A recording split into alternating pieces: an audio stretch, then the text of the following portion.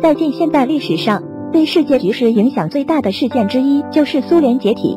当时苏联面临巨大的经济困难，整个超级大国一分为十五国，而且每个国家都很虚弱，尤其是俄罗斯继承了苏联的所有外债。那么问题来了，为何在苏联解体、俄罗斯很是虚弱的时候，德国没有趁机收回加里宁格勒呢？加里宁格勒原来是德国的东普鲁士，据说是普鲁士王国最先开始的地方，叫做哥尼斯堡。意思是王城，也就是说，现在的加里宁格勒是德国的祖宗之地，是国家发源地，相当于美国的华盛顿、英国的伦敦、我国的西安等，可以说非常重要，是不能丢弃和放弃的。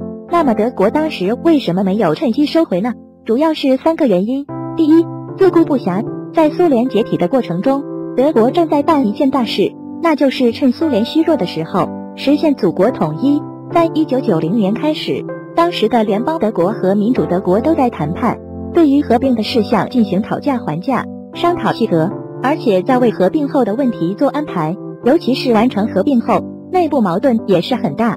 毕竟民主德国那是一穷二白，经济结构、政治体制等都不一样，有很多问题需要去解决。对于当时有钱的联邦德国来说，第一位的事情是要先消化民主德国，因此可谓是无暇东顾。根本没有那么多的精力去管加里宁格勒，实现祖国统一已经是不容易了。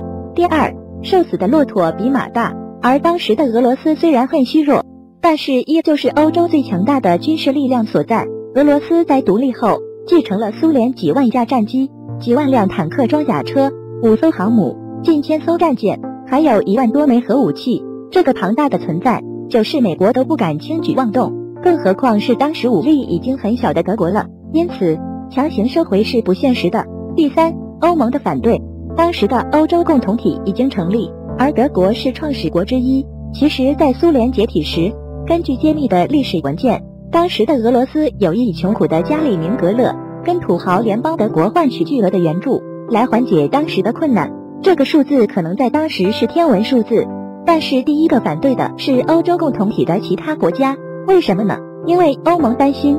一旦加里宁格勒回来德国，那么就是欧盟的一部分，那么就必须接纳这个穷困犯罪之城。而且当时的加里宁格勒大部分是俄罗斯人，欧盟很是担心俄罗斯人或者其他民族会通过加里宁格勒进入欧盟，给欧盟造成压力，因此坚决反对。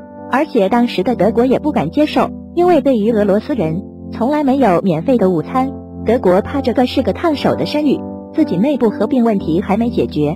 以后要是俄罗斯恢复元气，后悔了，那么德国将进入俄罗斯的对抗之中，这对德国来说那是不可想象的。因此得不偿失，于是德国始终没有动作，要去收回这个加里宁格勒。